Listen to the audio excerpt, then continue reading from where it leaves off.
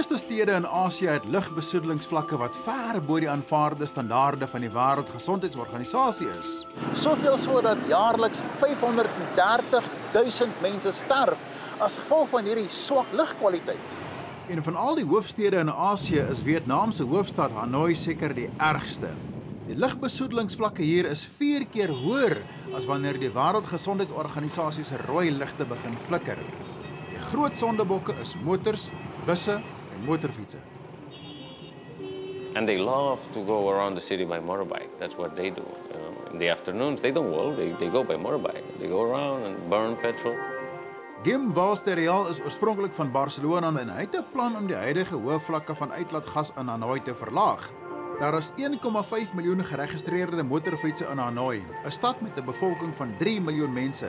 En Gim is vasbeslote om soveel as moontlik van hulle te ooreed om van hulle motorfietsse ontslae te raak. In ruil moet hulle omgewingsvriendelike elektriese fietsse aanskaf wat volgens hom die beste kompromie en voordeel is. Got a machine that doesn't pollute, it keeps you healthy, and it brings you around. So for short distances, for commuting, it's that's the best mean of transport. Gim het die anderste masjienkie vir die eerste keer tegekom terwyl hy in Beijing gewerk het. Nog 'n stad wat berig is vir sy lugbesoedeling. The first thing that, that shocks me when I land in Beijing, it was that everybody was moving by electric bicycle. You know, I mean, this is amazing. I mean, all these people, they go in silence, you know, they keep pedaling, but doesn't make noise and they go fast. Elektriese fietsse of e-fietsse is net meer as 10 jaar gelede in China bekend gestel as deel van die skoon lug inisiatief vir stede in die Verre Ooste. Die inisiatief wat deur Asië se Ontwikkelingsbank, die Wêreldbank en Amerika se Agentskap vir Internasionale Ontwikkeling begin is, is op die been gebring om stede meer leefbaar te maak deur kennis, tegnologie en beleidsrigtinge te deel. Gim beskou die elektriese fiets as sy beste koopie ooit en het daarom besluit om die boodskap te deel deur die wêreld met 'n e-fiets te deurkruis. Hy het in Junie 2009 in China weggespring en deur Suid-Korea, Japan, Hong Kong en Vietnam met sy fiets gery. En dit was in Hanoi waar Gim vir Retoy Ang Nguyen ontmoet het. Sy is 'n verslaggewer wat 'n storie oor Gim se avonture gedoen het. Somebody interviewed me for the national TV, but instead of being a man like you, it was a beautiful young journalist, and uh, I fell in love. It was crazy guy. That's what I thought when I first met him. Van Loetjie getik of te nee, Gim het twee ooreed om die e-fiets 'n kans te gee. Before I know, I, I have my motorbike, my scooter, but then he convinced me, just try your, the bicycle, electric bike, and I jump in it. It's amazing. Dit het Gim 'n bietjie langer geneem om twee ook te ooreed om met hom te trou. Sy het 'n jaar later ingestem en die twee het toe besluit om die tog per e-fiets voor te sit en het van Vietnam na Thailand gery. Dit was moeiliker as wat sy verwag het, want mens moet steeds jou bene inspann. second days on the bicycle is really tough day, but more and more I will get used with that.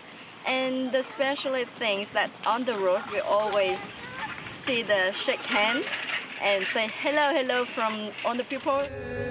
Wanneer dit vir 3 en 'n half ure gelaai is, kan die e-fiets 90 km ver ry. Gim het my verduidelik hoe dit werk. Here you get a sensor on the, on the pedal crank, and you get a motor on the front wheel.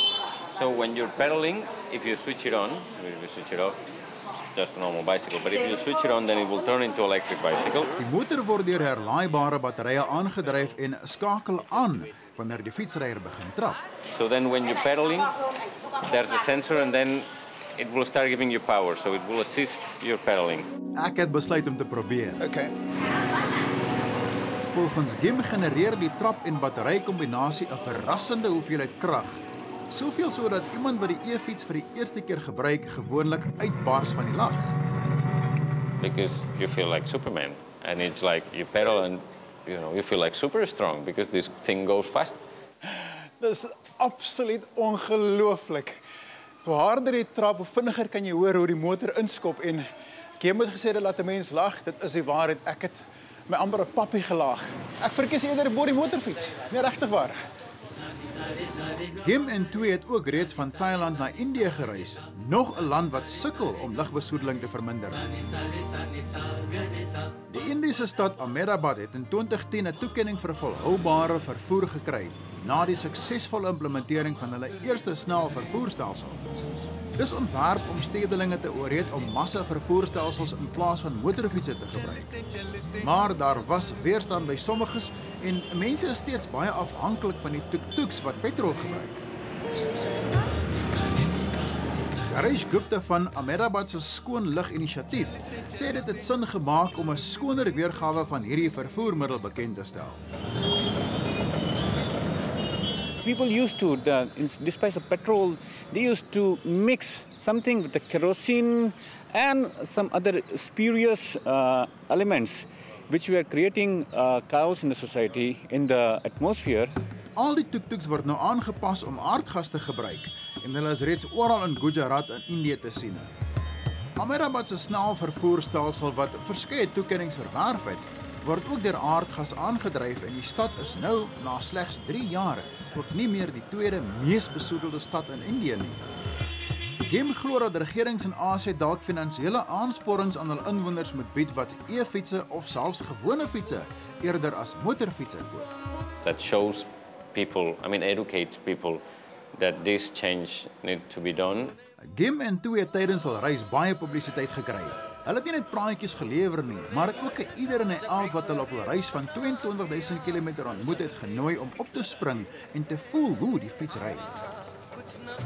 Pretty awesome. I think I don't need a bike after this. Na Indië het die paartjie ook deur Europa gery. In Italië het toe agtergekom sy swanger en hulle is terug Hanoi toe. Gim wou egter nie sy droom prysgee nie en het die Hanoi Bicycle Collective begin. Nestie, elektriese fiets nie 'n motorfiets of 'n gewone fiets is nie. So is die Hanoi Bicycle Collective ook nie 'n kafee of 'n gewone winkel nie. Dis 'n plek waar die eienaar Gim sy visie aan enigiemand wat deur sy deur stap probeer verkoop. Hy sê dit is moeilik om mense se houding te verander. In 'n land waar almal tot 30 jaar gelede fiets gery het, is die motorfiets vandag 'n simbool van welvarendheid vir Vietnam se middelklas.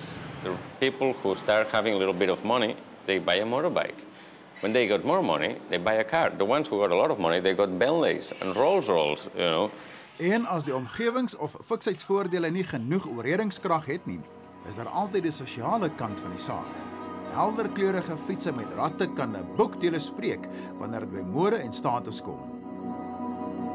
So we're trying to make to give them attractive bicycles that it catch their attention, visual attention, but it makes them feel proud of what they have. Om by die Hanoi Bicycle Collective tuis te voel, moet jy 'n fiets hê. Wel, dis dalk ook al 'n manier hoe jy hier welkom gaan voel.